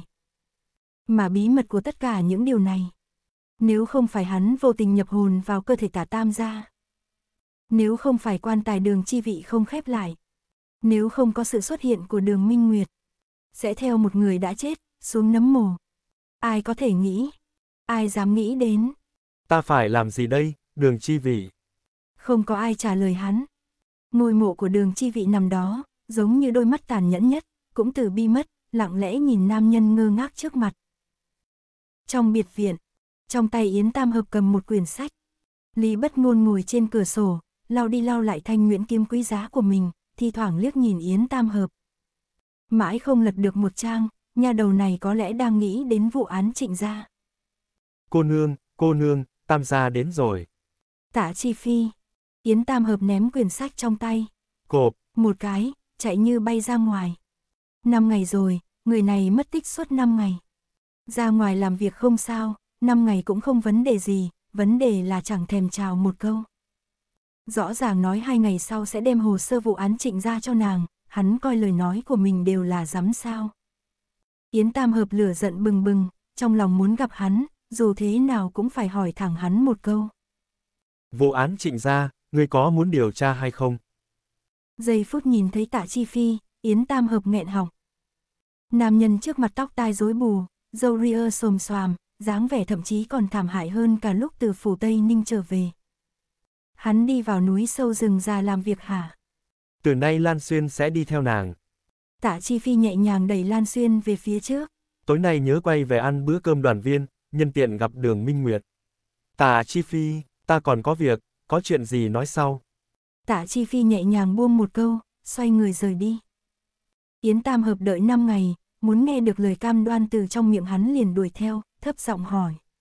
Khi nào thì ngươi đưa hồ sơ vụ án trịnh ra cho ta? Tạ Chi Phi dừng lại, cúi đầu nhìn nàng. Người đẹp do cốt cách, không phải do dung mạo. Khuôn mặt này thoạt nhìn khá ấn tượng, nhìn kỹ một chút, càng trở nên thú vị hơn. Dùng một từ để hình dung dư vị này, chính là độc nhất vô nhị. Yến Tam Hợp, nàng rốt cuộc là ai? Vì sao đến trịnh gia? Vì sao cha ta vì nàng, mà không tiếc bỏ con gái ruột vào am ni cô? Trên người nàng, rốt cuộc che giấu bí mật gì? Yến Tam Hợp giật mình trước ánh mắt sắc bén của tả chi phi, giống như đang ẩn chứa một con dao bén nhọn. Vội gì chứ, Yến Tam Hợp, nàng đừng nghĩ có thể thoát khỏi vụ án này. Giọng nói của hắn không lớn, tốc độ nói vẫn như thường ngày, nhưng để ý kỹ một chút, trong đó có thêm phần tàn nhẫn. Yến Tam Hợp đột nhiên cau mày. Người này làm sao vậy? Cảm ơn bạn đã ghé thăm kênh Holic Audio. chương 420, thay đổi. Yến Tam Hợp từ khi quen biết tạ Chi Phi, chưa từng thấy dáng vẻ này của hắn. Người này trước nay đều cười híp mắt, nói chuyện ngả ngớn, cũng không biết câu nào là thật, câu nào là giả. Nhưng lần này, nàng thấy hắn rất khác với trước đây. Tam Hợp, Yến Tam Hợp, mau xem ta mang cái gì cho ngươi ơ, tạ ngũ thập, ngươi về rồi à? Bùi tiếu vội dừng lại, hỏi. Ngươi đã làm gì vậy? Sao lại trông thảm như thế? Tạ Chi Phi liếc nhìn vật trong tay hắn với ánh mắt thờ ơ. Để ta yên được không? Bùi tiếu giật mình. Tam gia ơi, ai chọc giận ngươi vậy? Tạ Chi Phi không để ý tới hắn, tự mình đi tiếp. Tại sao? Bùi tiếu đuổi theo hai bước, tóm lấy tay hắn, nhìn từ trên xuống dưới, cuối cùng đưa ra kết luận. Ngươi nhịn mấy ngày hỏng rồi à? Cút. Tạ Chi Phi đẩy hắn ra. Bùi tiếu không dám đi theo tam gia nữa, sợ gây thêm rắc rối, bèn đi đến trước mặt Yến Tam Hợp, đưa hộp bánh trung thu trong tay cho nàng. Thử đi, bánh trung thu thập cẩm. Yến Tam Hợp nhận lấy. Sao không đi theo hắn ngó xem? Không cần. Tiểu bùi ra thở dài. Hắn chỉ cần tìm người chút giận thôi, hắn đang nổi điên. Còn ngươi, ta... Tiểu bùi ra len lén nhìn khuôn mặt Yến Tam Hợp, nghĩ thầm. Ta không phải là muốn ở đây với ngươi sao? Ta là người đàng hoàng, ta có thể nhịn được. Ngươi cũng dám trợn mắt nói dối. Chi bằng đi theo hắn nhìn một chút, ta thấy sắc mặt hắn không được tốt lắm. Thấy sắc mặt tạ chi phi không tốt, bùi ra chợt lo lắng. Vậy ta đi xem thử, ngươi nhớ ăn bánh trung thu nhé. Chạy được vài bước, hắn quay đầu lại thì thấy Yến Tam Hợp vẫn đứng đó nhìn mình chằm chằm, tiểu bùi ra giận đến nghiến răng nghiến lợi. Tạ ngũ thập, là ngươi luôn ở đây gây rắc rối, ngươi mới là kẻ phá đám chết tiệt trên con đường truy thê của ta đó. Yến cô nương. Giọng nói sau lưng hơi rụt rè, Yến Tam Hợp cuối cùng cũng nhớ tới tạ chi phi còn mang theo Lan Xuyên. Yến Tam Hợp bước đến, hỏi. Sao ngươi lại đi cùng tà tiên sinh? Ngày ấy, ngài ấy đến am Thủy Nguyệt đón ta. Yến Tam Hợp nghe được hai ý trong lời này, một là tạ chi phi đã cố ý tới am Thủy Nguyệt, hai là... Ngươi không muốn theo ta. Không không phải. Lam Xuyên vội vàng lắc đầu. Sư phụ ta nói đi theo Yến Tiểu Thư tốt hơn là ở lại trong ni viện, ta nghe sư phụ. Còn riêng ngươi nghĩ sao? Ta... Lam Xuyên xoắn hai tay vào nhau. Ta chỉ không nỡ rời xa sư phụ, cũng không có ý kiến gì khác, nhưng hai ngày này ta đã nghĩ thông suốt, ta... Ta muốn thử một lần. Vậy ngươi tạm thời ở lại đây đi, nếu thật sự không quen sau này ta sẽ đưa ngươi về. Yến Tam Hợp vỗ đầu nàng. Tạm thời thử ba tháng, ngươi thấy thế nào? Lam Xuyên hai mắt đột nhiên sáng lên. Ta nghe Yến Tiểu Thư. Yến Tam Hợp nhận lấy hành lý trong tay nàng, nói. Theo ta. Lý Bất Ngôn đã nghe thấy tin tức, đang đợi ở cửa thư phòng, vừa nhìn thấy người, nàng bèn lêu một tiếng. Ây dô, chấm. Sao ngươi nghĩ thông vậy, Tiểu Lan Xuyên? Lam Xuyên cúi đầu. Sao ngươi ngại ngùng thế? Lý Bất Ngôn đi tới nhéo má cô. Ngươi ấy, ngày tốt lành của ngươi sắp tới rồi. Yến Tam hợp chọc vào eo Lý Bất Ngôn ý bảo nàng đừng nói nhảm. Thang viên, đây là Lan Xuyên, một tiểu ni cô ở Am Thủy Nguyệt, nàng tạm thời hoàn tục, sắp xếp nàng trong vi ệ của ngươi đi, với cả, ngươi đưa nàng về may một ít quần áo đi. Vâng, thưa tiểu thư. Thang viên nắm lấy tay Lan Xuyên, nói. Lam Xuyên, ngươi và... Thang viên, ngươi nên gọi nàng là tiểu thư. Trong lúc thang viên kinh hãi, Lan Xuyên cũng kinh ngạc. Không phải nàng đến làm người hầu cho Yến cô nương sao? Tại sao lại trở thành tiểu thư? Chức danh là chức danh, nhưng việc gì cũng phải học làm. Xung quanh ta không có người nhàn rỗi, phải học kỹ năng làm cơm nước. Yến Tam Hợp nhìn Lan Xuyên. Lý Bất Ngôn sẽ dạy ngươi một ít kỹ năng tự vệ, ngươi đừng lười biếng, đi theo nàng chăm chỉ học tập. Lan Xuyên bối rối, nhỏ giọng hỏi. Vậy, vậy, ta là nha hoàn hay là tiểu thư? Ngươi là chính ngươi. Yến Tam Hợp nhét bánh trung thu vào trong ngực Lan Xuyên, kéo Lý Bất Ngôn vào thư phòng. Tối nay đi tới tả gia với ta. Tả phủ, thôi nào, ta còn muốn sống thêm 2-3 năm nữa đó. Không đi. Yến Tam Hợp đáng thương nhìn nàng. Không đi à, không đi, thật sự không đi, không đi, Lý Bất Ngôn, vậy ta nói rõ ràng trước, nếu có người lại nói gì ngươi, đừng trách ta quay lưng lại với hắn. Tôi sẽ lật bàn thật đó. Yến Tam Hợp cười, vòng tay ôm lấy nàng. Cứ lật đi, lật mạnh vào. Lý bất ngôn dí ngón tay vào chán nàng. Ngươi đúng là quá mềm lòng, bị tên họ tả kia lừa. Hắn có thể lừa được ta sao? Yến Tam Hợp cười gằn. Ta chỉ cảm thấy hắn đáng thương thôi. Người tự lừa mình lừa người đi. Lý bất ngôn trợn mắt. Tả ngũ thập, ngươi đứng lại. Tả chi phi dừng lại. Bùi tiếu bước nhanh tới, nghiêng đầu nhìn mặt hắn rồi thở dài. Kể cho ta nghe xem chuyện gì đã xảy ra. Chỉ mệt mỏi thôi. Tạ Chi Phi tự sờ lên mặt nói. Năm ngày, ta chỉ ngủ một đêm, thời gian còn lại đều ở trên đường. Mọi chuyện ổn chứ, ta có gì không ổn chứ? Được rồi, đừng đoán mò nữa, mau hồi phủ đoàn viên và cha nương ngươi đi. Ăn bánh trung thu ở nhà xong, có thời gian thì đến ngắm trăng với ta. Yến Tam Hợp tối nay sẽ ở tả phủ ta đó. Tạ Chi Phi lên ngựa. Nhân tiện, Tam Hợp không thích ăn bánh trung thu thập cẩm, nàng thích ăn bánh đậu xanh hơn. Sao ngươi không báo với ta sớm hơn, đồ khốn. Bùi Tiếu tức giận giơ chân muốn đá hắn một cái, nhưng đã muộn, người và ngựa đã đi xa rồi. Ra, Hoàng Kỳ đi ngang qua nói. chúng ta cũng về thôi. Hôm nay là ngày nghỉ, mọi người ở nhà đang đợi chúng ta.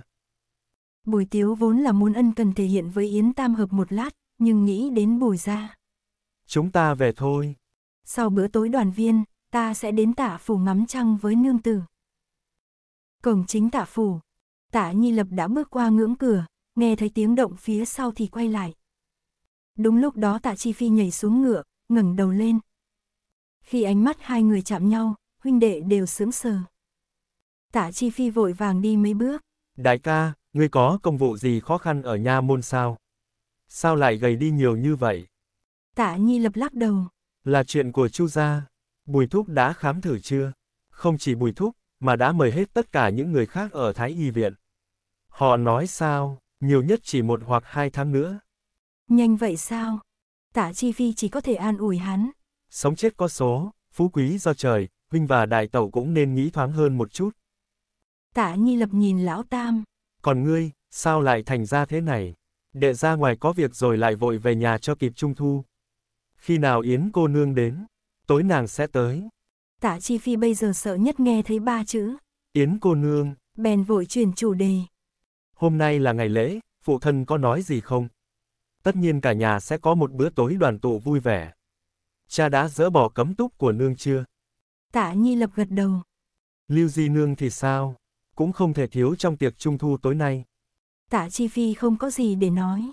Đại ca, đệ về viện trước, vẫn còn sớm, ngươi tranh thủ nghỉ ngơi một chút, chăm chút lại bản thân trước khi trời tối, chớ để lão tổ tông lo lắng.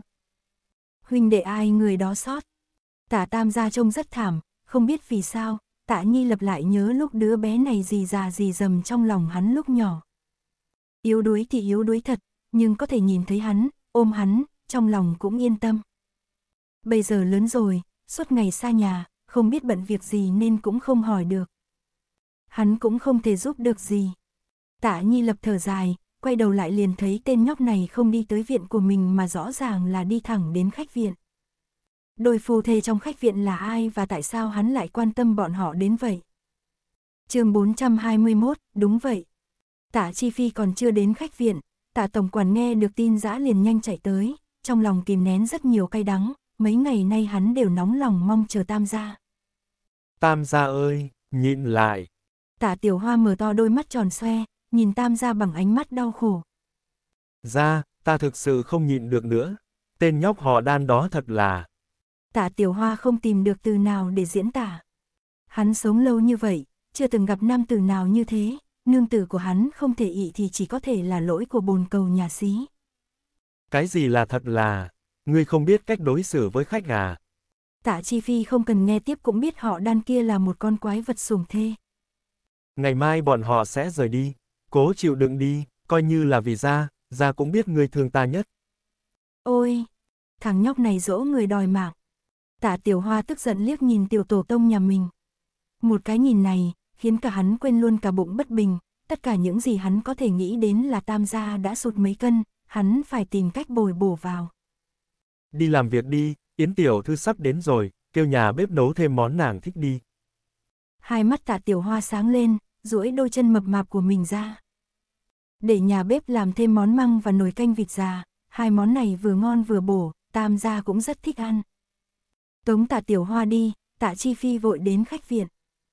Trước cửa viện, bệ chiêu đang ngồi trên ghế tre, nheo mắt phơi ánh nắng, thấy tạ Chi Phi đi tới, hắn đứng dậy làm động tác mời. Đột nhiên trong viện truyền đến một giọng nói tức giận. Đường Minh Nguyệt, nàng lớn như vậy mà đến uống nước cũng chẳng biết, ta đã bảo không được uống nước lạnh, sao nàng không chịu nghe thế? Ta, nếu sau này đến tháng mà bị đau bụng, thì đừng hòng ta xoa bụng cho nàng. Nhìn nàng đi, là đang ăn cơm cho nàng hay ăn cơm cho mèo thế? Ta thực sự không thể ăn được nữa. Ta đã dặn ăn ít đồ ngọt trước bữa ăn, nàng cứ không nghe. Đến bữa chính không ăn, chỉ lo ăn ba đồ ăn vặt mãi sẽ mập đó. Ngày mai ta sẽ không ăn nữa. Nàng không ăn nữa sao? Ăn dáng thêm vài miếng rồi đưa phần còn thừa cho ta. Phụ thân mẫu thân không cho chàng ăn đồ thừa của ta đâu. Bọn họ không có ở đây mà. Người ta nói kẻ ăn đồ thừa thì không có tương lai. Người không ăn đồ thừa mới không có tương lai. Ồ, sao chàng lại dám làm trái với những gì phụ mẫu ta nói hả? Thì sao, nàng cứ việc khiếu nại đi. Vốn dĩ ta đã định khiếu nại rồi, nhưng hôm nay nhìn thấy có người ăn mặc đẹp đẽ nên ta mới không nữa đó. Nếu mặc không đẹp thì sao? Vậy ta, cũng không nó. Con trai, con hãy nhớ kỹ, dù người này có ăn mặc đẹp đẽ không thì cũng là cha của con, sau này con phải hiếu thảo với người nhé. Bệ chiêu nhìn sắc mặt nghiến răng nghiến lợi của tả chi phi, bất đắc dĩ mở miệng. Tiểu thư, cô gia, tam gia đã trở về rồi. Trong phòng im lặng một lúc, có tiếng hạ nhân vội vàng dọn dẹp bát đĩa, sau đó, giọng nói nghiêm túc của đường Minh Nguyệt vang lên. Tam gia tới à, mời vào. Tả chi phi bước vào, nhìn đôi phu thê trẻ đang ngồi thẳng, một người ủ rũ, một người đang mỉm cười với mình. Đan huynh đệ, mời ra ngoài đi. Tại sao là ta, chứ chẳng lẽ là ta? Đan nhị nhất. Tả chi phi ngồi xuống trước mặt đường Minh Nguyệt. Yến cô nương sắp tới, gặp nàng xong, ngày mai ngươi hãy rời đi, rồi mau trở về nhà. Vâng, ta hiểu. Đường Minh Nguyệt cười lộ ra hàm răng trắng nhỏ, liếc nhìn nam nhân của mình, nam nhân không tình không nguyện ra ngoài. Kinh thành này thì có gì tốt, đi đâu cũng có kẻ nhìn ngắm thê tử nhà hắn. Cuối cùng, nhà hoàn bước ra đóng cửa lại, trong giây lát căn phòng trở nên tối tăm. Tạ Chi Phi đứng dậy thắp đèn. Đường Minh Nguyệt cao mày nói. Tam gia, mới buổi trưa thôi. Không sao đâu, ta thích sáng sủa chút. Để ta có thể nhìn thấy muội rõ hơn. Tạ Chi Phi thắp đèn xong, ngồi xuống, lặng lẽ nhìn nữ tử trước mặt. Đường Minh Nguyệt bị hắn nhìn đến ngượng ngùng, nàng sờ sờ mặt. Tam gia, trên mặt ta có cái gì sao? Tạ Chi Phi vội nhìn đi chỗ khác. Ta đã đến núi Mộc Lý. Tam gia đã gặp phụ mẫu ta chưa? Gặp rồi, bọn họ ổn chứ? Tất cả đều ổn. Tạ Chi Phi lại nhìn về phía đường Minh Nguyệt. Họ chỉ là nhớ ngươi, muốn ngươi về sớm. Đôi mắt của đường Minh Nguyệt chợt đỏ hoe khi nghĩ đến hôm nay Tết Trung Thu, cha nương già hai người ở trên núi. Tam gia nói đúng, qua ngày mai ta sẽ đi trở về. Ta cũng rất nhớ bọn họ. Đường Minh Nguyệt. Tạ Chi Phi đột nhiên gọi tên nàng. Ngươi có từng nghĩ đến cha mẹ ruột của mình chưa? Đường Minh Nguyệt sừng sốt khi được hỏi. Ngươi đã bao giờ nghĩ đến việc tìm kiếm thân thế chưa? Có bao giờ nàng nghĩ đến chưa? Nụ cười trên mặt đường Minh Nguyệt dần dần biến mất. Thân thế của nàng.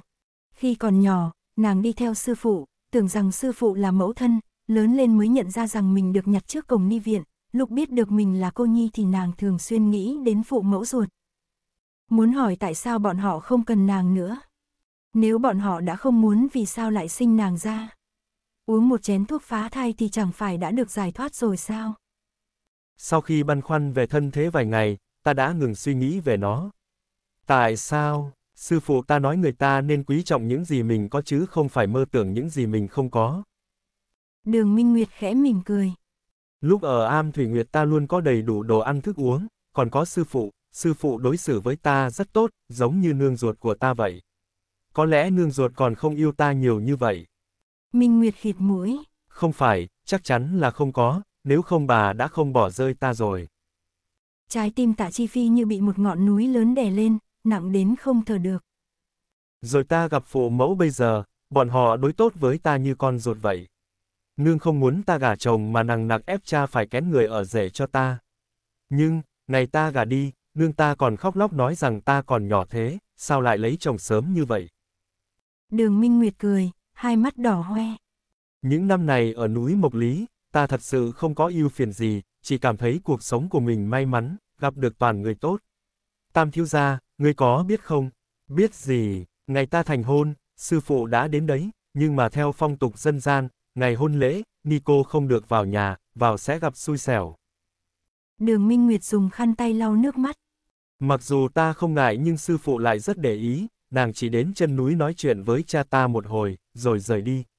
Sau này ta mới biết lúc đó sức khỏe của bà đã không tốt, phải ngồi xe ngựa ba ngày mới đến đây. Càng nói, nước mắt nàng càng rơi nhiều hơn. Đường Minh Nguyệt bỗng nhiên nghẹn ngào, không nói được gì nữa.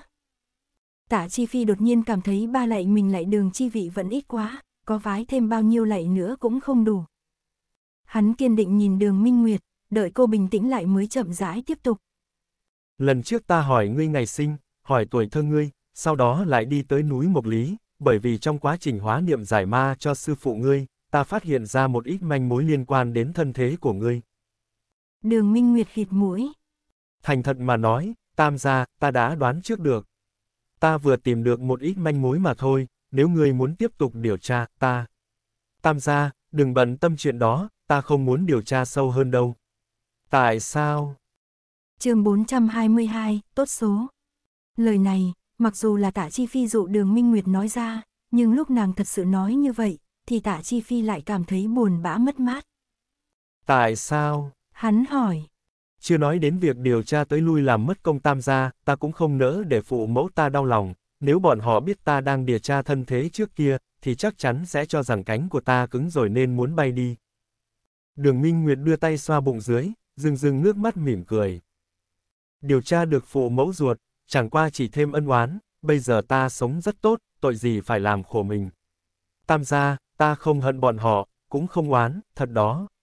Nói thật lòng, ta còn cảm tạ bọn họ, nếu không, làm sao ta có thể gặp sư phụ, gặp cha nương, gặp chàng. Nàng nhìn thoáng qua ngoài cửa, ánh mắt dịu dàng. Cha ta nói, con người cả đời này đơn giản chỉ là mưa thì che ô, lạnh thì thêm áo, rất ngắn, đừng khiến mình khổ sở. Thấy tạ chi phi vẫn kinh ngạc, nàng lại cười. Tam gia, ngươi nói có phải hay không? Phải. Tạ chi phi nói xong, chợt thấy nóng mắt, khối đá lớn trong ngực đột nhiên nhẹ bẫng đi. Hắn phát hiện nữ tử trước mắt, thực ra không hề đơn giản. Nàng thông minh hơn ai hết, rộng rãi hơn bất cứ ai, biết ơn báo đáp hơn ai hết, cũng tốt số hơn bất cứ ai. Cho nên, tất cả mọi người ở trịnh gia đề chết hết, chỉ để lại một mình nàng, vô tư vui vẻ mà sống. Đây là vì ông trời thương nàng, cũng là oan hồn của tất cả mọi người ở trịnh gia phù hộ nàng. Hắn nắm chặt tay, cô nuốt nước mắt, thấp giọng nói. Nếu ngươi đã không có ý định điều tra, vậy thì tất cả hãy dừng ở đây, lát nữa gặp Yến cô nương, cũng đừng nhắc lại, coi như chuyện này chưa từng xảy ra nhé. Ta phải cảm ơn nàng chứ. Con người nàng không thích người khác nói cảm ơn, lát nữa ngươi dùng trà thay rượu, kính nàng một ly là đủ rồi, cái khác không cần nhiều lời. Đường Minh Nguyệt chợt thấy có hảo cảm với nam tử trước mắt. Bề ngoài đã tuấn tú lại còn nhiệt tình. Người ta cố ý chạy một chuyến núi Mộc Lê vì thân thế của nàng, đi một lần phải mất 5 ngày, không biết đã mệt mỏi thế nào rồi. Nàng chỉ từ núi Mộc Lê đến Kinh Thành, đã phải đi nửa tháng. Yên tâm đi, tam gia, ta sẽ không nhắc tới một chữ. Đúng là một đứa bé ngoan nghe lời. Tạ Chi Phi cuối cùng cũng mỉm cười. Ngày mai ta đưa các ngươi ra khỏi thành, ta sẽ bảo người trong phủ chuẩn bị một ít đặc sản kinh thành, ngươi mang về cho cha nương mình nếm thử. Được được, ta thay bọn họ cảm ơn tam gia. Tạ Chi Phi thấy nàng không hề từ chối, trong lòng lại thấy vui vẻ. Cũng cảm ơn họ hay ta. Nuôi muội như con gái ruột, lại nuôi tốt như vậy. Hốc mắt lại nóng lên, ngồi cũng không yên nên Tạ Chi Phi đứng dậy mở cửa, hít thật sâu, xoay người dặn dò. Sau này, đừng đến kinh thành nữa, đây chẳng phải là nơi tốt lành gì đâu. Trùng hợp chưa, cha ta cũng nói như vậy. Đường Minh Nguyệt vén lớn tóc bên tai xuống. Sau này nếu tam gia có rảnh thì tới núi Mộc Lê chơi nhé, mang theo Yến cô nương đi cùng, ta dẫn các ngươi đi dạo, trên núi có rất nhiều thứ thú vị đó. Chắc chắn rồi. Giọng tạ chi phi hơi run rẩy. Sợ bị đường Minh Nguyệt nghe ra, hắn vội vàng bước ra ngưỡng cửa, đi khỏi viện, vừa ngẩng đầu, đã thấy đan nhị nhất đang xoay vòng vòng như con kiến. Lòng đan nhị nhất bây giờ đã như lửa đốt. Nam nhân kinh thành này rốt cuộc nghĩ gì thế, hắn không hiểu bốn chữ lễ nghĩa liêm sỉ sao. Nào có nam tử ban ngày ban mặt lại đóng cửa lại, nói chuyện riêng với nương tử nhà người ta chú. Thấy tạ chi phi đi ra, đan nhị nhất hung tợn nhìn hắn. Tam gia thì thầm xong rồi. Tạ chi phi nhìn đường minh nguyệt, nhìn sao cũng thấy thích. Lại nhìn cái tên đan nhị nhất này, nhìn sao cũng thấy ghét chết đi được. Tên còn khó nghe, nhị nhất, nhị nhất, có gan ngươi đặt tam nhất, tứ nhất, ngũ nhất đi.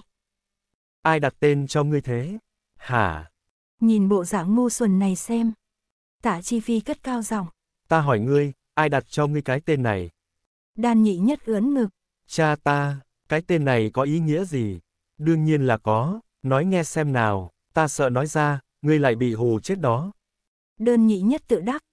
Chuyện trên đời không như ý, 89 phần 10, còn lại một hai phần đều là chuyện như ý, tam gia, ngũ ý này không phải người bình thường có thể hiểu được đâu. Tạ Chi Phi. Thấy tả tam gia ngơ ngẩn, đan nhị nhất cố ý nhướng mày. Tam gia à, số mạng của ta cũng không phải có thể so sánh với người bình thường đâu, ngươi nói đúng không? Có thể làm con rể đường ra, đúng là tốt số, nhưng tính nết thì... Đúng là thằng ngu. Tạ Chi Phi lười nói thêm một chữ, phất tay áo rời đi. Đan nhị nhất và tả tam ra giao phong, lần đầu chiếm thượng phong, hắn lập tức đắc ý vỗ tay cười. Bệ thúc, người xem kia, hắn ghen tị rồi. Ghen tị với cái chân bà nội ngươi. Tạ Chi Phi thầm chửi ầm lên. Trở lại trong viện, Tạ Chi Phi còn chưa cởi y phục, đã nói với Chu Thanh một câu. Hai canh giờ sau gọi ta. Rồi nằm ngã xuống giường. Đinh Nhất ở bên cạnh khóc không ra nước mắt. Màn trời chiếu đất ba tháng, thì nhận được tin ra triệu hồi hắn, bèn vội vàng chạy không ngừng về nhà, vất vả lắm mới nhìn thấy ra. Ta to thủ lù như vậy trước mặt ra, thế sao ra lại không thấy ta nhỉ? Hóa thành cho cũng nhận ra. Tạ Chi Phi không chấp mắt. Những thứ ngươi điều tra được hãy đưa cho Yến cô nương, sau đó cùng nàng trở về tạ phủ. Đinh Nhất còn muốn nói thêm vài câu với ra, thì bị Chu Thanh sách cổ ra ngoài. Không thấy ra mệt đến mở mắt không ra sao, mau làm nhiệm vụ đi, ngươi và ra thì sao, sao? Một ánh mắt giết người phóng qua, Đinh Nhất sợ tới mức vội vàng ngậm miệng. Muốn giữ lương tháng này của ngươi, thì đừng nói gì sất. Đinh Nhất lại muốn khóc, sao mấy tháng không gặp, mà mình đã không thể hỏi cả hành trình của gia rồi thế. Ta thất sủng rồi sao? Hắn khịt mũi, tuổi thân sách túi đô trên bàn, đi thẳng đến biệt viện. Trong biệt viện, Yến Tam Hợp bị thang viên ấn ngồi xuống trước gương đồng trải đầu. Trung thu đến nhà người khác làm khách, dù thế nào cũng phải chỉnh đốn lại một chút, dùng lời của Lý bất ngôn mà nói, ta không đeo vàng đeo bạc, nhưng ít ra cũng phải khí thế. Vừa trải đầu xong, Đinh Nhất đã vội vàng đến, đưa túi đồ trên tay qua. Yến cô nương, đây là đồ gia bảo ta đưa tới cho ngươi, là Vĩnh Hòa 8 năm. Bỏ xuống đi. Yến Tam hợp liếc Lý bất ngôn, Lý bất ngôn lập tức nhảy từ trên cửa sổ xuống, đi vào trong phòng, lấy một tờ ngân phiếu 50 lượng ra đưa cho hắn. Đinh Nhất lắc đầu như chống bỏi. Ấy, không được, không được, cầm đi. Ngữ khi Yến Tam hợp cứng rắn. Ba tháng này ngươi không dễ dàng, ta không có nhiều, chỉ có một chút phí vất vả, không cần nói với tam gia nhà ngươi. Cái nào... Nhân... Đinh Nhất ngoan ngoãn nhận lấy ngân phiếu. Yến cô nương, tam gia lệnh ta đi cùng ngươi. Vậy ngươi phải đợi một lát. Yến Tam hợp sách túi đổ lên. Thang viên, đưa Đinh Nhất nếm thử bánh trung thu tiểu bùi ra cho đi. Đinh Nhất chợt thấy ấm áp, không thấy sợ gì nữa. Hừ, nếu như thất sủng thì ta sẽ qua làm người hầu của Yến cô nương, Yến cô nương thương ta thế này mờ. Phần này đến đây là hết. Mời các bạn theo dõi tiếp các video khác trên kênh. Nếu các bạn yêu thích kênh, hãy nhấn theo dõi nhé. Cảm ơn các bạn.